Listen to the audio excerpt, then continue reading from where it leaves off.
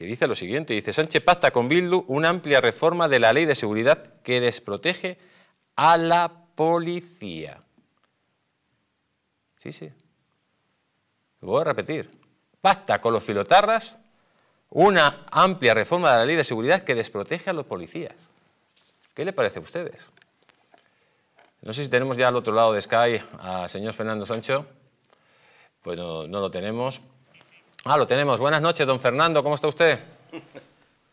Bien, don Jesús Ángel, encantado. Buenas noches a todos. Un placer. Buenas noches, don Fernando. Como siempre.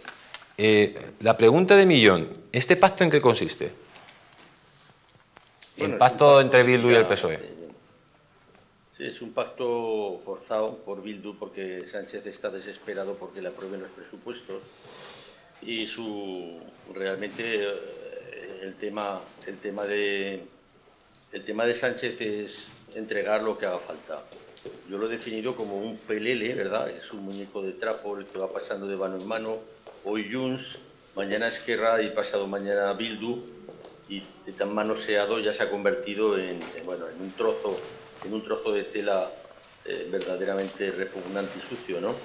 Y, y- y eso es lo que es, es que eso es lo que es.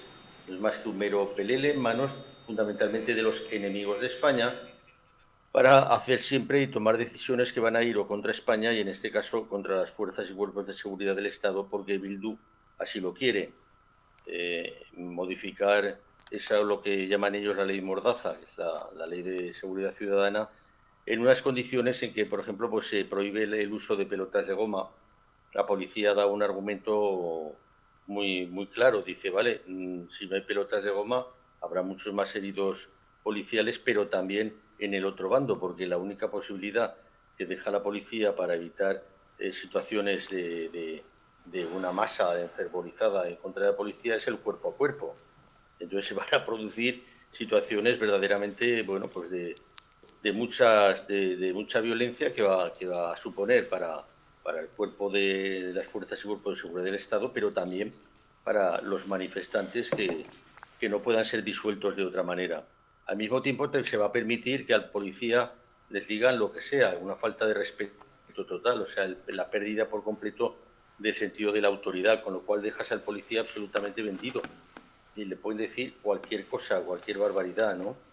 O sea, es, es, una, es, es, es un hecho, mm, es que no puede ser. O sea, quiero decir, eh, José Ángel, la situación en España ha llegado a un punto insostenible. Y una prueba de ello es este, esta entrega a Bildu de, de lo que serían las fuerzas de seguridad. Van a hacer lo que Bildu diga, ¿no? Y Bildu, no nos olvidemos que usted eh, los ha de- definido como filoetarras, pero es que son filoetarras que el 28M en, la- en las elecciones autonómicas y municipales llevaban siete asesinos en sus listas. Siete asesinos.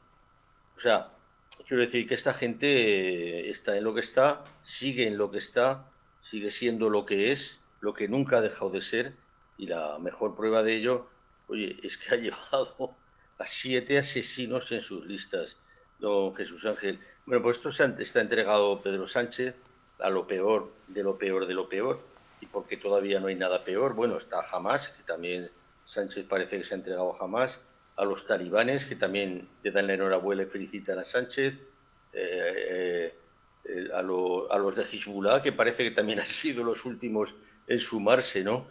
Es, es terrible, o sea, es una cosa que, que no, no se sostiene bajo ningún concepto. Y el problema es que todo esto que está haciendo Sánchez, luego el problema de cuando llegue un cambio de gobiernos es que puede llegar, que yo espero que sí, porque, bueno, pues está ahí, tiene que llegar de una forma u otra. Hay un punto en que él no va a poder. Y en ese cambio de gobierno, pues es que hay que tirarlo todo abajo, todo, todo, absolutamente todo. O sea, es que no se puede mantener nada, es que todo lo que ha hecho Sánchez hay que deshacerlo por completo. Y no sé si el actual jefe de la oposición, bueno, yo creo que el actual jefe de la oposición no va a llegar, sinceramente. ¿Por qué? Porque él, él no quiere gobernar con Vox y no va a tener otra opción. Tanto o, dejará paso o pasará algo, pero él no creo que llegue. Pero alguien tiene que venir con una gran determinación para mm, todo lo que está haciendo Sánchez, incluida esta reforma de la Ley de Seguridad Ciudadana, retrotraerla y retrotraer todo, todo, todo, todo, todo lo que ha hecho. O sea, no se puede dejar nada, ni una coma del, legado de Sánchez, ni una coma se puede dejar en pie. Hay que tirarlo todo abajo, pero absolutamente. Y ese tiene que ser el compromiso fundamental de alguien que, que con determinación diga, mire usted, yo voy a hacer esto. Vamos, yo sinceramente no, no votaría a nadie que, dijera otra cosa que voy a tirarlo todo abajo. Alguien que diga, no, yo sentido de Estado porque soy... No, ese ya no lo voy a votar. ¿Sabes?